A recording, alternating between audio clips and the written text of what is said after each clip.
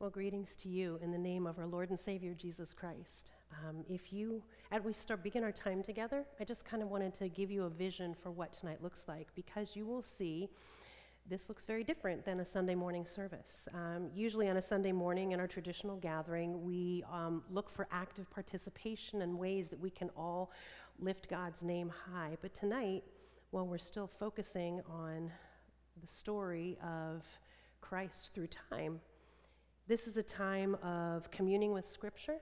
It is a time of personal prayer. It is a time of reflection, of music, and meditation. So I invite you to immerse yourself in God's Word tonight, to imagine um, before you what is being read. Think of the sights, the smells, the sounds at creation and at the cross. You will note that the lights will be lowered throughout um, the various stations of this service, and that denotes the darkness that covered the land upon Christ's death. And so, at the conclusion of the service, we'll spend a few moments in relative darkness. We'll see what happens out there. Um, and the new beacon from the hospital is a little unhelpful. But when the lights come back up, you are invited to leave in the quiet of the moment. But for now, as we come together, let's pray. Father God, we just thank you for your presence among us this evening. Lord God, on this Good Friday, when it seemed that all was lost, you were working. We couldn't see it, nobody knew, but you were working.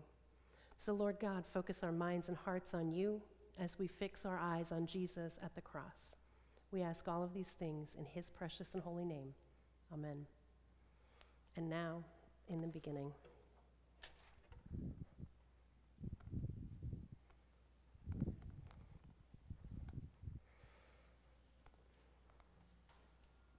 In the beginning was the Word, and the Word was with God, and the Word was God.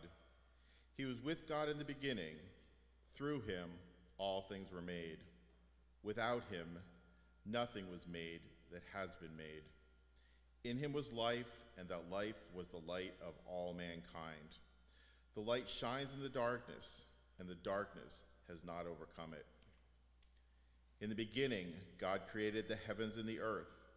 Now the earth was formless and empty, darkness was over the surface of the deep, and the Spirit of God was hovering over the waters. And God said, Let there be light. And there was light. God saw that the light was good, and he separated the light from darkness. God called the light day, and darkness he called night. And there was evening, and there was morning, the first day. And God said, Let the land produce living creatures according to their kinds, the livestock, the creatures that move along the ground, and the wild animals, each according to its kind. And it was so. God made the wild animals according to their kinds, the livestock according to their kinds, and all the creatures that move along the ground according to their kinds. And God saw that it was good. Then God said, let us make mankind in our image, in our likeness, so that they may rule over the fish in the sea and the birds in the sky, over the livestock and all the wild animals, and over all the creatures that move along the ground. So God created mankind in his own image. In the image of God, he created them. Male and female, he created them. God blessed them and said to them, Be fruitful and increase in number Fill the earth and subdue it. Rule over the fish in the sea and the birds in the sky and over every living creature that moves on the ground. Then God said, I give you every seed bearing plant on the face of the whole earth and every tree that has fruit with seed in it. They will be yours for food. And to all the beasts of the earth, and all the birds in the sky, and all the creatures that move along the ground, everything that has the breath of life in it, I give every green plant for food. And it was so. God saw all that he had made, and it was very good. And there was evening, and there was morning, the sixth day. Thus the heavens and the earth were completed in all their vast array. By the seventh day, God had finished the work he had been doing. So on the seventh day, he rested from all his work. Then God blessed the seventh day and made it holy, because on it he rested from all the work of creating that he had done. Please stand as you are able and join in singing Morning Has Broken.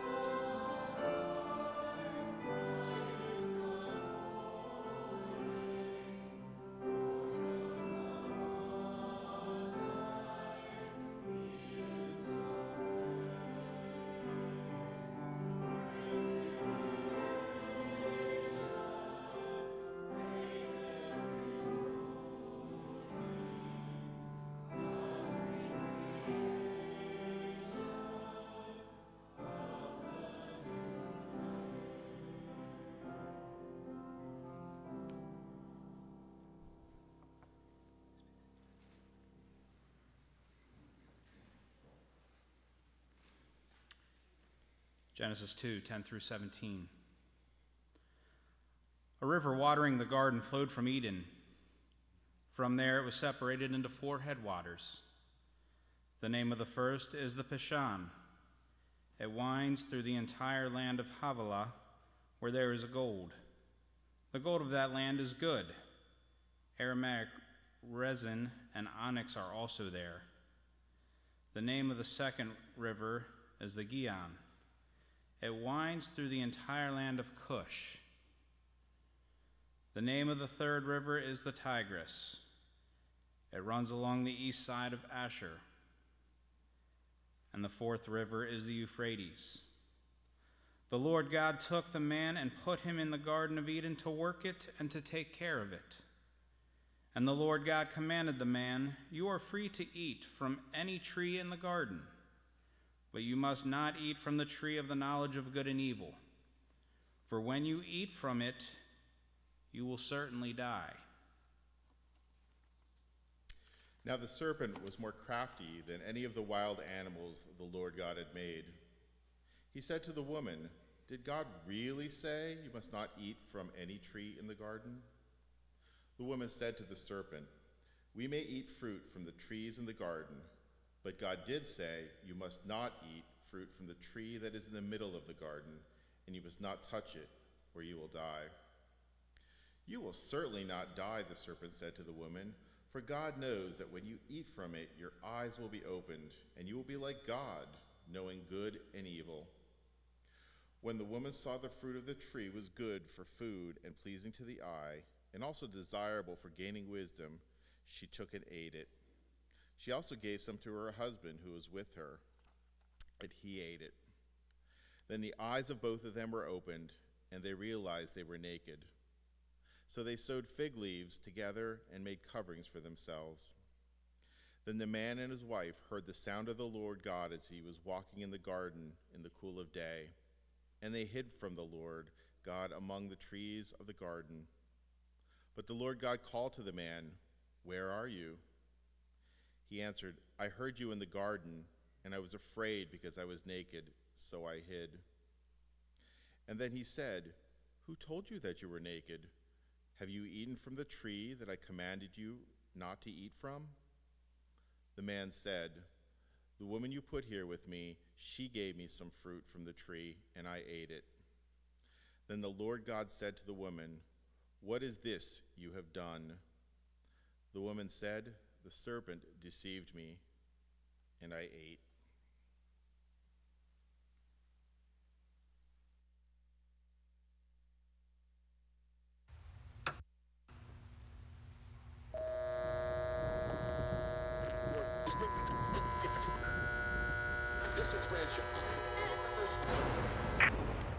The serpent, snake, was the savviest of all of the creatures in the Creator's perfect planet. The reptile surveyed the scene with keen snake eyes. Streetwise, armed with an arsenal of plausible lies, he slithered up to Eve, the woman, from her blind side preserving the element of surprise. And he said, Hello, child. How was your day? I overheard your conversation. I just had one simple question. Exactly what did the Creator say? that thing about the tree, the evil and the good, how do you know that you understood? Did he really say what you think you heard? Maybe your mind twisted up the words. Did he say hands off all the plants? Don't look, don't touch, don't taste? What a waste that would be.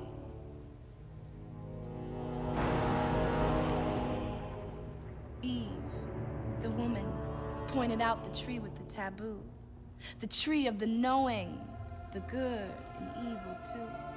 She told the snake that God had made it drop dead clear that everything else was free, every other tree. But if they took one tiny taste of the fruit of this particular one, they would absolutely, positively crash and burn.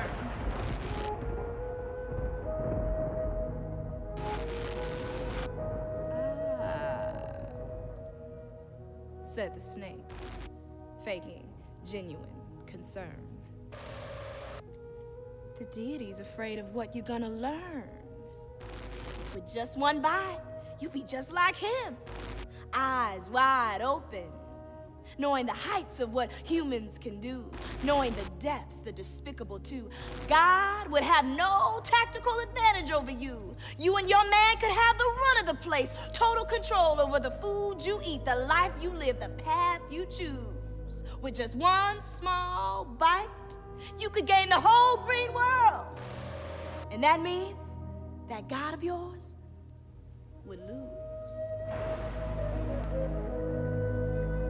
The woman Eve walked closer and closer to the tree. She sniffed and felt fruit against her cheek. Totally wise with open eyes, she said, What's wrong with that? Maybe my man and I were born for this. Born to know, born to control, born to rule. She swallowed hard, and it was done. She gave some to her covenant partner, Adam. He opened his mouth and gobbled it down, and the universe was silent.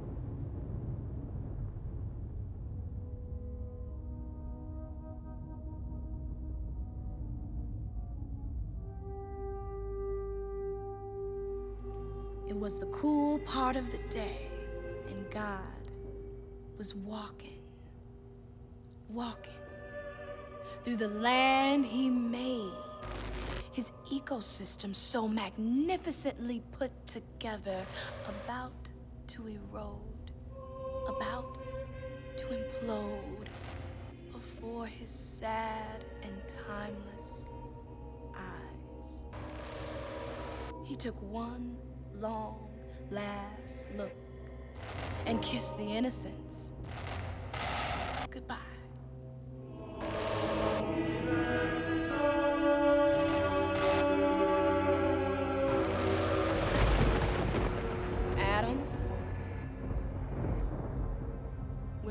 hiding, son? Eve, girl, what have you done? The ground, it's broken now. Under a curse, from bad to worse. Now your eyes are and clear. Now you know shame. Now you know fear. Now you know you're naked. Now you run for cover. Well, here's what's gonna happen life will be shorter, pain will be greater, work will be harder, grinding it out by the sweat on your brow, the blood on your hands. Eve and Adam, even the bond you have will now be strained, slightly off, distorted, reframed. And as for you, reptile snake, Adam will crush your head. You will strike and bite his heel. You will feel the weight of the consequences of what you've done for eons.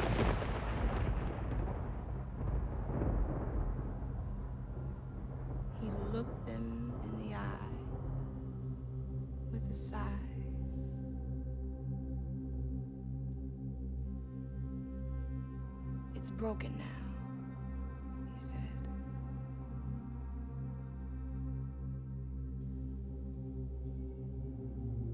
And the serpent, he just smiled.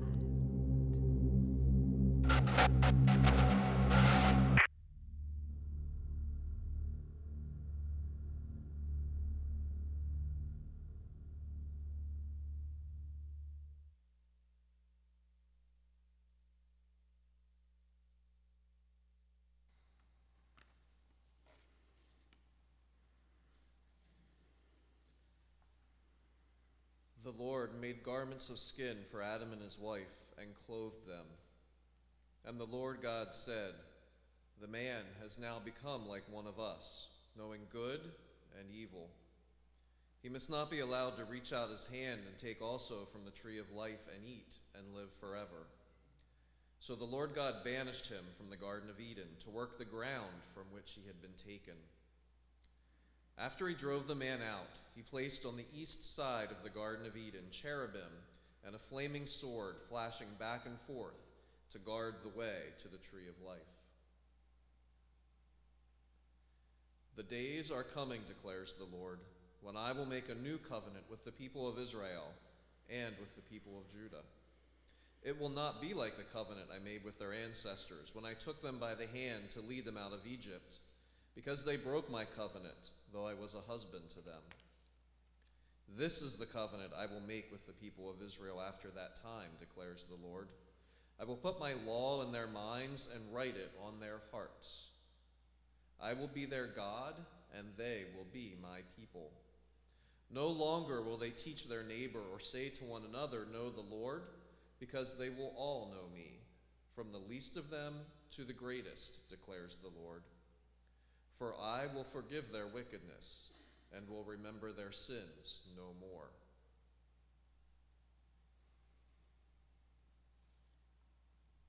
In the sixth month of Elizabeth's pregnancy, God sent the angel Gabriel to Nazareth, a town in Galilee, to a virgin pledged to be married to a man named Joseph, a descendant of David. The virgin's name was Mary. The angel went to her and said, Greetings, you who are highly favored, the Lord is with you. Mary was greatly troubled at his words and wondered what kind of greeting this might be. But the angel said to her, Do not be afraid, Mary. You have found favor with God. You will conceive and give birth to a son, and you are to call him Jesus. He will be great and will be called the Son of the Most High. The Lord God will give him the throne of his father David, and he will reign over Jacob's descendants forever. His kingdom will never end. How will this be? Mary asked the angel, since I am a virgin. The angel answered, The Holy Spirit will come on you, and the power of the Most High will overshadow you. So the Holy One to be born will be called the Son of God.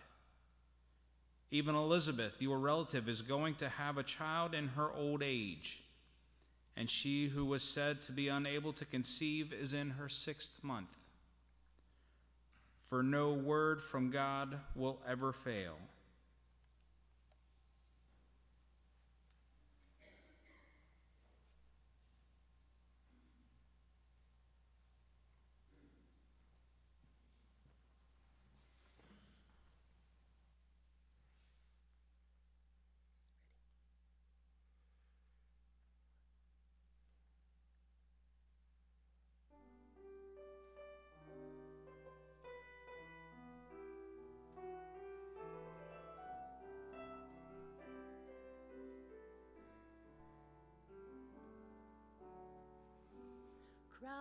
Have lined the narrow street to see this man from Galilee. Just a carpenter, some say, leading fools astray. Yet many kneel to give him praise,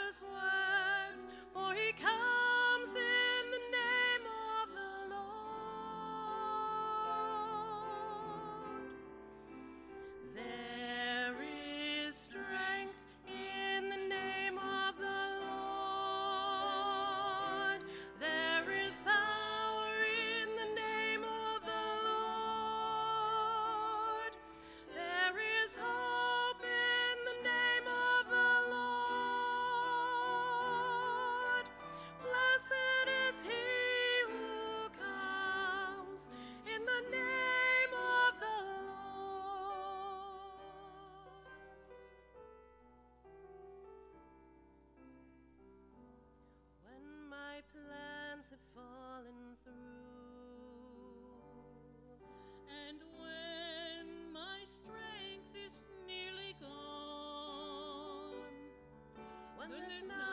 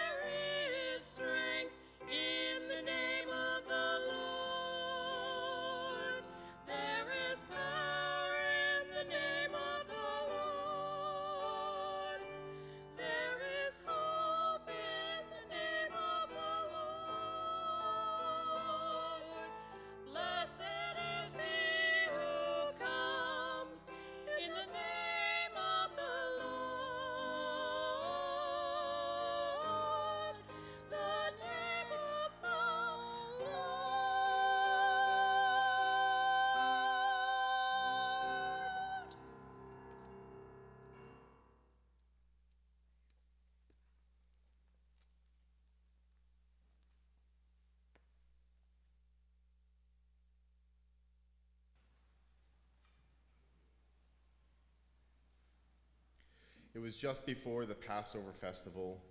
Jesus knew that the hour had come for him to leave this world and go to the Father.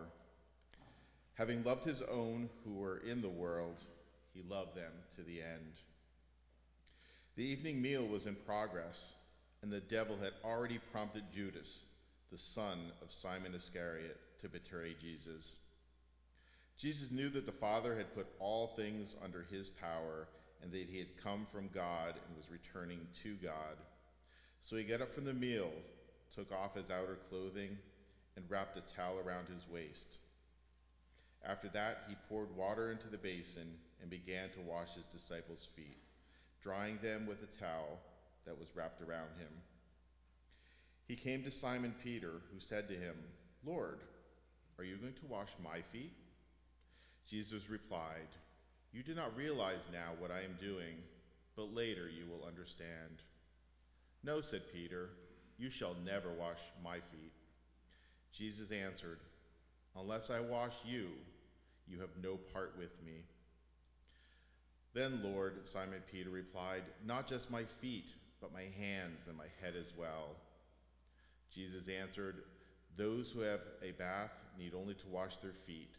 Their whole body is clean, and you are clean, though not every one of you. After he had said this, Jesus was troubled in spirit and testified, Very truly I tell you, one of you is going to betray me.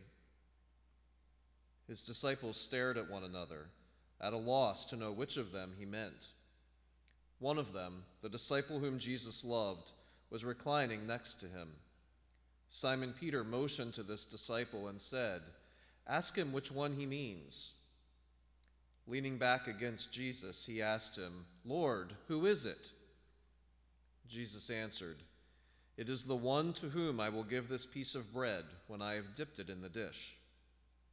Then, dipping the piece of bread, he gave it to Jude, the son of Simon Iscariot. As soon as Judas took the bread, Satan entered into him. So Jesus told him, What you are about to do, do quickly.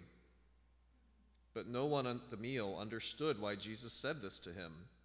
Since Judas had charge of the money, some thought Jesus was telling him to buy what was needed for the festival or to give something to the poor.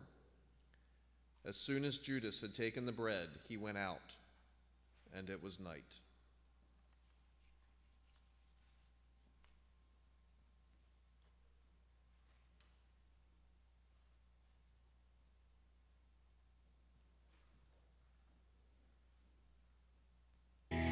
Let's take a moment in your own words and say whatever it is that you want to say to God.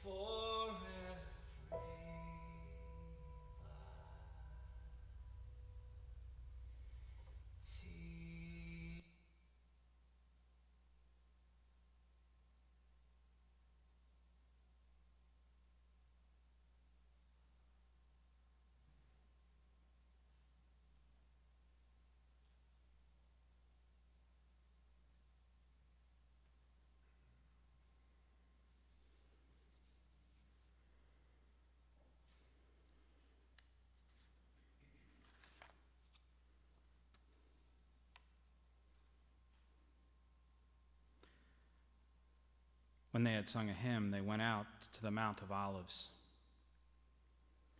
Then Jesus went with his disciples to place to a place called Gethsemane.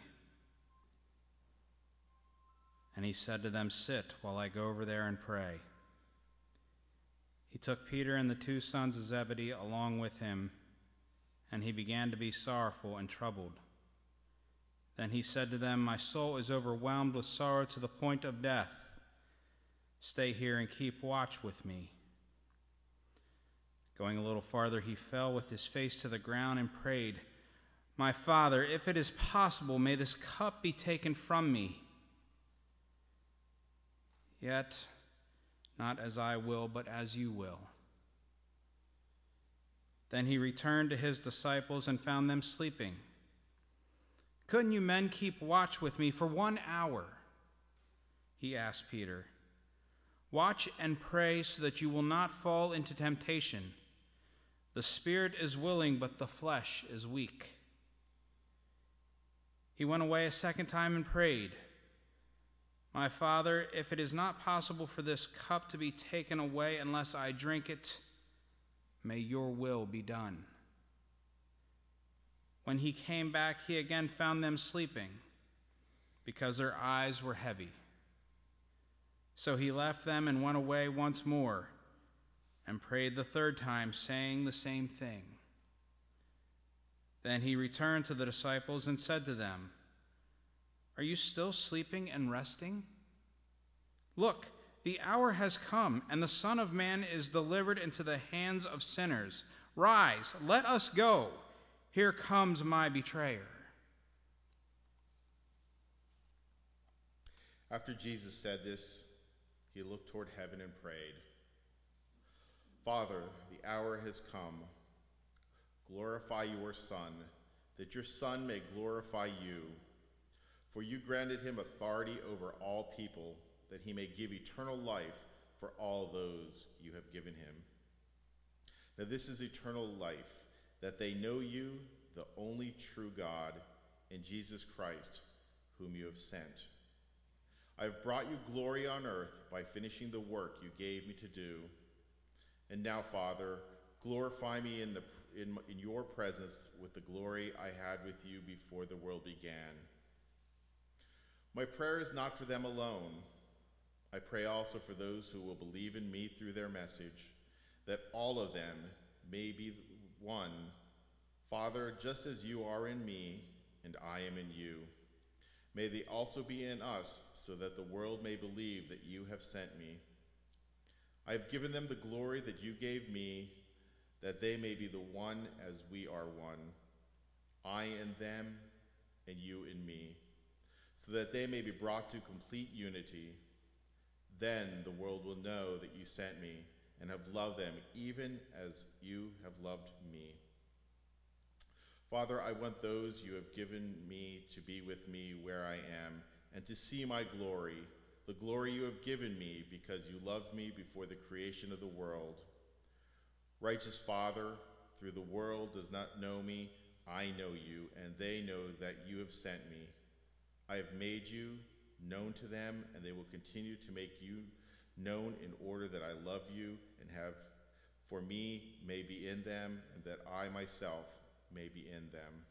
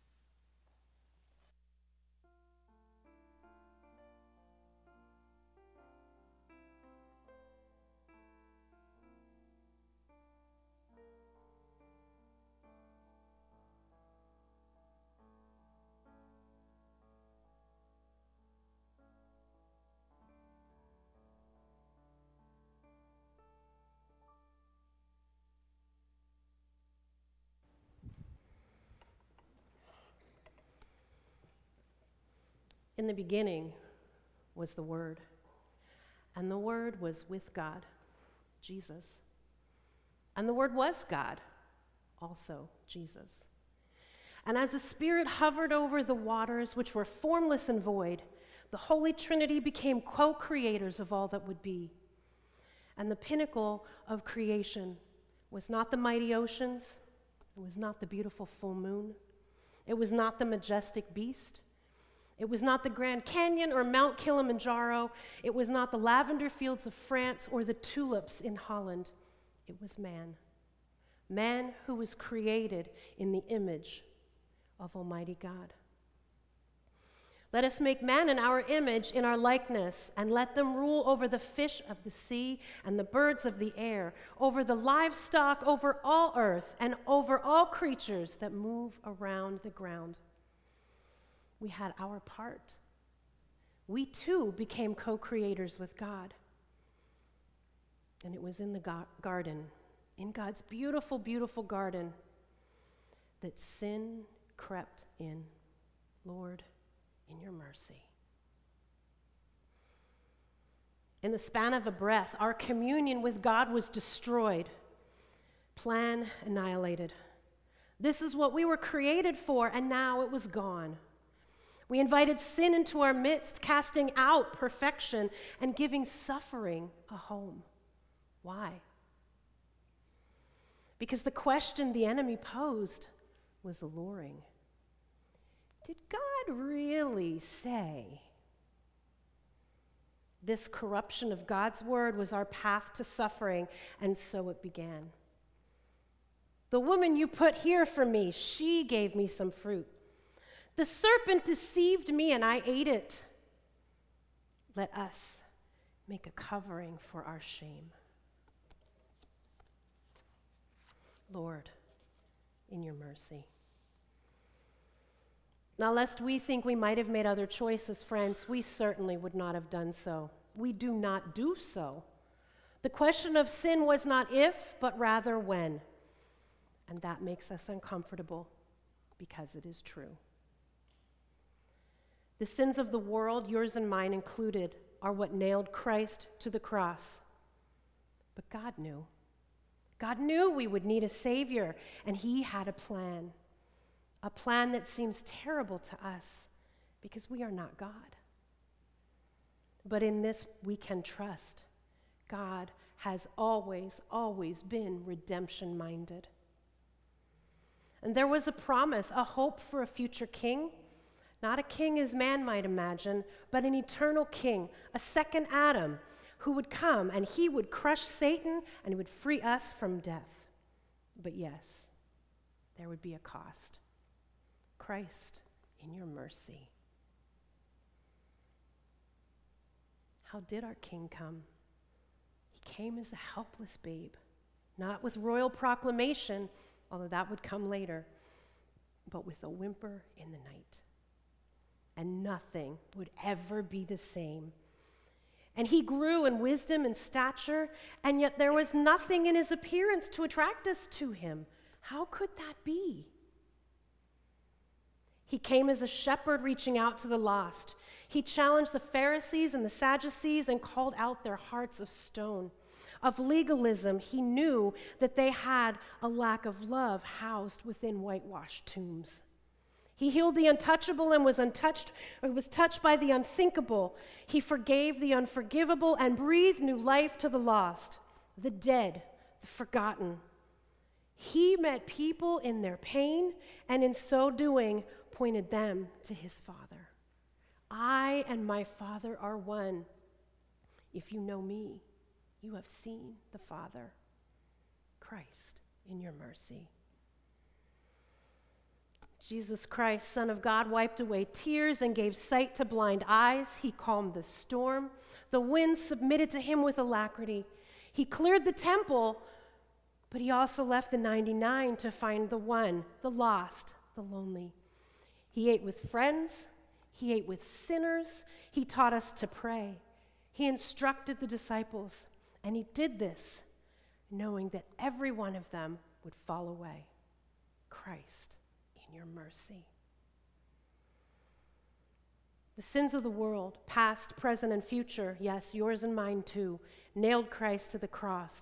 He was mocked, he was scorned, abused, spit upon, scourged, all but unrecognizable in the end. Tormented even on the cross, his belongings divvied up as though they were a prize to be won. And then he spoke. Eloi, Eloi, lama sabachthani. My God, my God, why have you forsaken me? Lord, in your mercy. Prophecy was unfolding.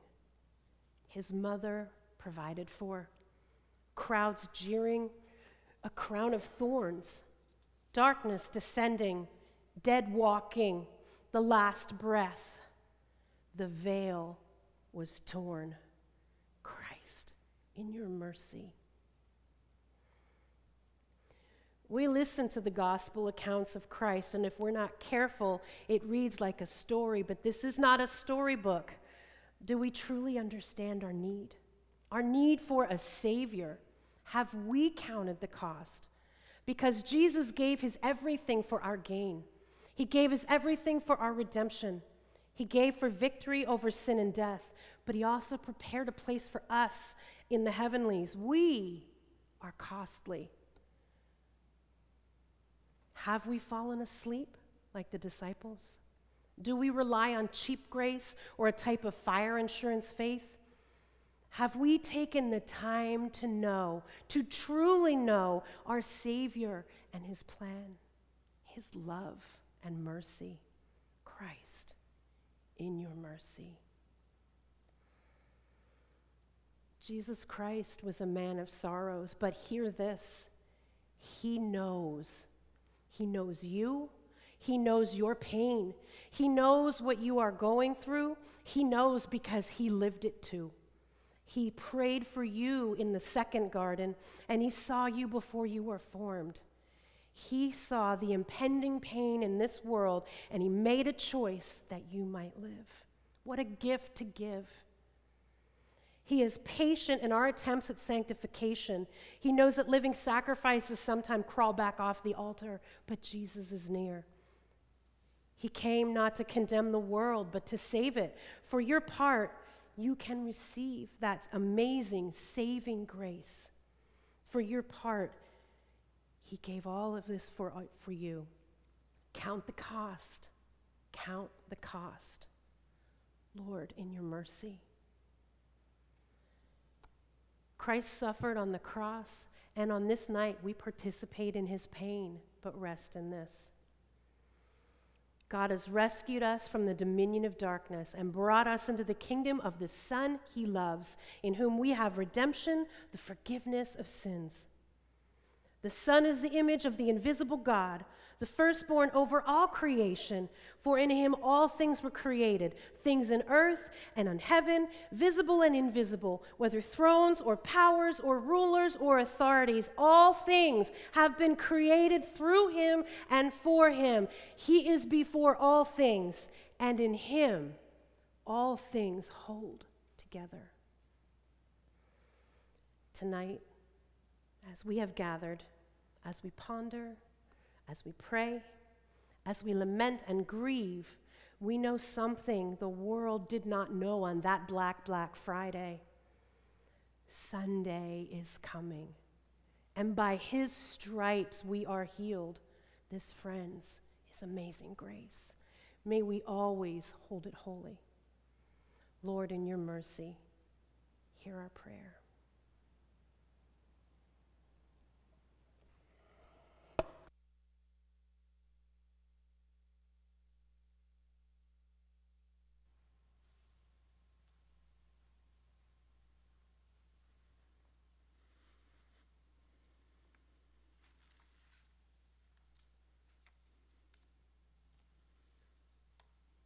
While he was still speaking, Judas, one of the twelve, arrived. With him was a large crowd armed with swords and clubs, sent from the chief priest and the elders of the people. Now the betrayer had arranged a signal with them The one I kiss is the man. Arrest him. Going at once to Jesus, Judas said, Greetings, Rabbi, and kissed him. Jesus replied, Do what you came for, friend. Then the man stepped forward, seized Jesus, and arrested him. With that, one of Jesus' companions reached for his sword, drew it out, and struck the servant of the high priest, cutting off his ear. Put your sword back in its place, Jesus said to him, for all who draw the sword will die by the sword. Do you think I cannot call on my Father, and he will at once put at my disposal more than twelve legions of angels? But how then would the scriptures be fulfilled that say it must happen in this way? In that hour, Jesus said to the crowd, Am I leading a rebellion that you have come out with swords and clubs to capture me? Every day I sat in the temple courts teaching, and you did not arrest me. But this has all taken place that the writings of the prophets might be fulfilled. Then all the disciples deserted him and fled.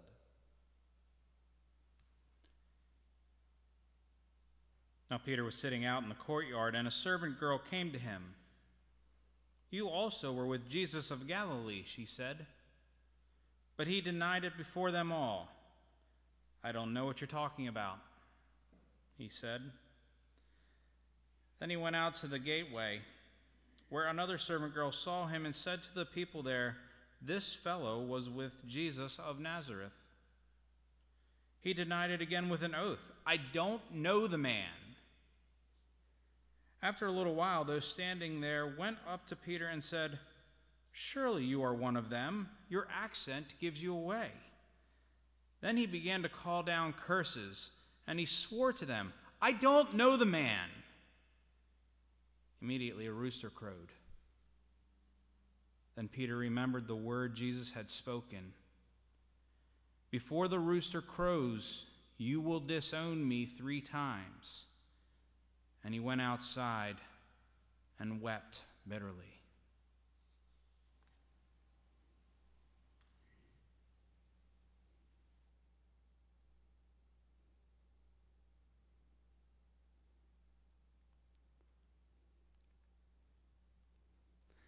My name is Judas, Judas Iscariot. Now, don't despise me like Christians have for nearly 2,000 years. Hear me out. Haven't you ever heard there are two sides to every story? Let me tell you about my life with Jesus. I first met Jesus as he was traveling through Judea, as he was preaching, teaching, and providing healing to those who, had, who were afflicted. I was impressed with his leadership, and I followed him to the Sea of Tiberias, where I was honored when he called me to be one of his disciples. I loved Jesus. I pictured him as a commander in chief who would lead us in our fight to restore the kingdom of Israel. I envisioned him as a military genius who would help us oust the crooked politicians, overthrow the Roman government, and give the land back to the people of Israel. After all, wasn't he the Messiah? Or so I thought.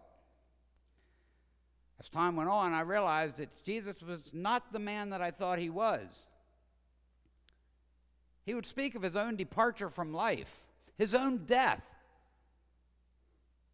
In addition, he would say things like, Blessed are the poor, blessed are the powerless, for the kingdom of God shall be theirs. They shall inherit the earth. Hmm. I grew tired of believing in this. With Jesus, the prospect was of a, a life of continued poverty and misery instead of sharing with him, as I had imagined, in his glorious kingdom, now it appeared that through my own association with him, I might be persecuted, I might be imprisoned, or both. Who wanted to share this kind of life with this man? Not me. Not me. It was no secret at the time that the high priest and the leaders of the day had some kind of an agenda with Jesus where they just wanted to get rid of him, have him go away. Fearing for my own safety, I did meet with Caiaphas the high priest, and he did offer me 30 pieces of silver if I would turn Jesus over to him and the authorities. well, of course, I had mixed feelings. On the one hand, I didn't want to betray Jesus, who I had been following for the last three years of my life. But on the other hand, when you consider that they would have caught up with Jesus sooner or later anyway, that he would certainly get a fair trial. After all, he was an innocent man who had done nothing wrong. And they were offering me 30 pieces of silver, and times were tough, so why not? It was an offer I couldn't refuse. So at the right time, I delivered Jesus unto them. Wouldn't any of you have done the same?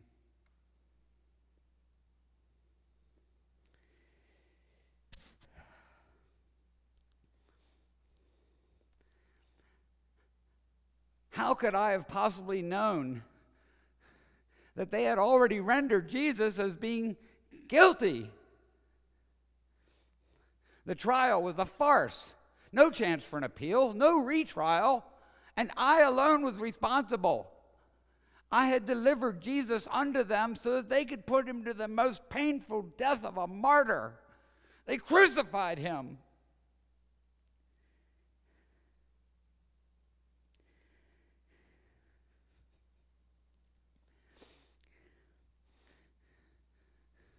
Now, where? Where can I go to hide my shame? My own guilt cannot be equaled by any man on the face of the earth.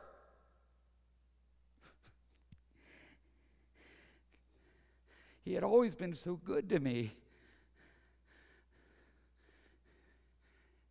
He had warned me of my betrayal. I had chances to repent. He would have forgiven me he had done so much for me, and this is how I pay him back.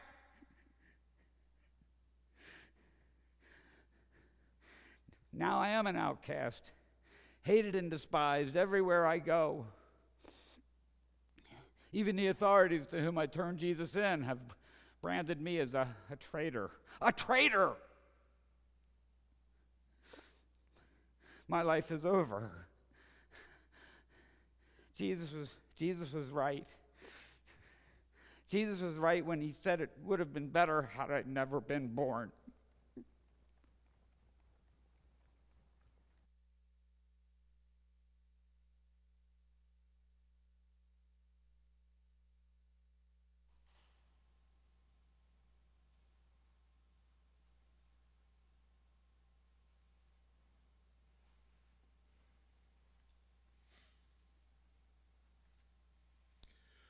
When Jesus came out wearing the crown of thorns and the purple robe, Pilate said to them, Here is the man. As soon as the chief priests and their officials saw him, they shouted, Crucify! Crucify! But Pilate answered, You take him and crucify him. As for me, I find no basis for the charge against him. The Jewish leaders insisted we have a law, and according to the law, he must die, because he claimed to be the Son of God. When Pilate heard this, he was even more afraid. And he went back inside the palace. Where do you come from? He asked Jesus. But Jesus gave him no answer. Do you refuse to speak to me? Pilate said. Don't you realize I have the power either to free you or to crucify you? Jesus answered, You would have no power over me if it were not given to you from above. Therefore, the one who handed me over to you is guilty of a greater sin. From then on, Pilate tried to set Jesus free, but the Jewish leaders kept shouting, If you let this man go, you are no friend of Caesar. Anyone who claims to be a king opposes Caesar. When Pilate heard this, he brought Jesus out and sat down on the judge's seat at a place known as the stone pavement, which in Aramaic is Gabbatha. It was the day of preparation of the Passover. It was about noon. Here's your king, Pilate said to the Jews. But they shouted, Take him away! Take him away! Crucify him! Shall I crucify your king? Pilate asked. We have no king but Caesar, the chief priest answered. Finally, Pilate handed over him to be crucified. So the soldiers took charge of Jesus. As they were going out, they met a man from Cyrene named Simon, and they forced him to carry the cross. They came to a place called Golgotha, which means the place of the skull. There they offered Jesus wine to drink mixed with gall, but after tasting it, he refused to drink it. When they had crucified him, they divided up his clothes by casting lots, and sitting down, they kept watch over him there. Above his head, they placed the written charge against him This is Jesus, the King of the Jews. Two rebels were crucified with him, one on his right and one on his left. Those who passed by hurled insults at him, shaking their heads and saying, You who are going to destroy the temple and build it in three days, save yourself. Come down from the cross if you are the Son of God. In the same way, the chief priests, the teachers of the law, and the elders mocked him. He saved others, they said, but he can't save himself. He's the king of Israel. Let him come down now from the cross, and we will believe in him. He trusts in God. Let God rescue him now if he wants him. For he said, I am the Son of God. In the same way, the rebels who were crucified with him also heaped insults on him.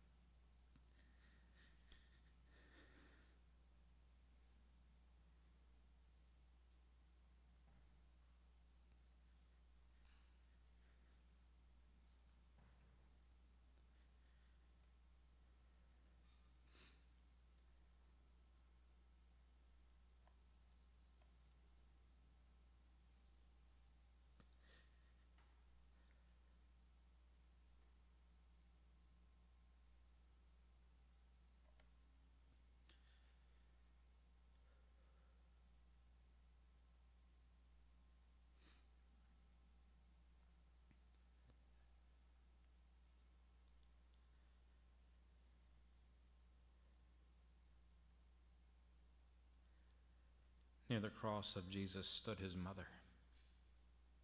His mother's sister, Mary, the wife of Clopas, and Mary Magdalene. When Jesus saw his mother there and the disciple whom he loved standing nearby,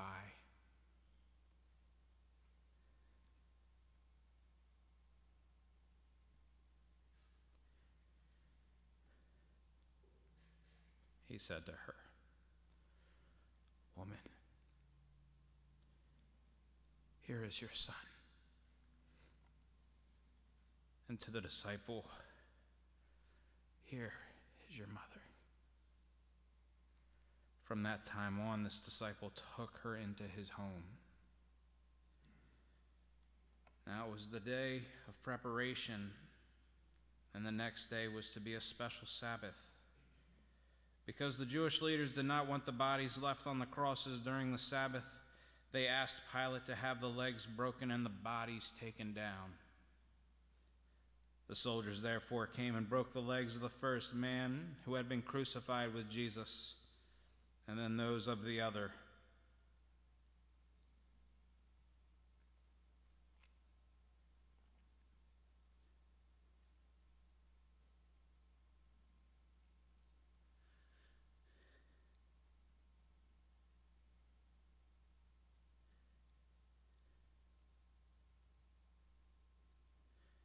But when they came to Jesus and found that he was already dead, they did not break his legs. Instead, one of the soldiers pierced Jesus' side with a spear, bringing a sudden flow of blood and water. The man who saw it has given testimony, and his testimony is true. He knows that he tells the truth, and he testifies so that you may also believe. These things happened so that the scriptures would be fulfilled. Not one of his bones will be broken. And as another scripture says, they will look on the one they have pierced. From noon until three in the afternoon, darkness came over all the land. About three in the afternoon, Jesus cried out in a loud voice, Eli, Eli, lama sabachthani, which means, My God, my God, why have you forsaken me? When some of those standing there heard this, they said, He's calling Elijah. Immediately, one of them ran and got a sponge. He filled it with wine vinegar, put it on a staff, and offered it to Jesus to drink. The rest said, Now leave him alone. Let's see if Elijah comes to save him. And when Jesus had cried out again in a loud voice, he gave up his spirit. At that moment, the curtain of the temple was torn in two from top to bottom. The earth shook, the rocks split, and the tombs broke open. The bodies of the many holy people who had died were raised to life. They came out of their tombs after Jesus' resurrection and went into the holy city and appeared to many people. When the centurion and those with him who were guarding Jesus saw the earthquake and all that had happened, they were terrified and exclaimed, Surely he was the Son of God.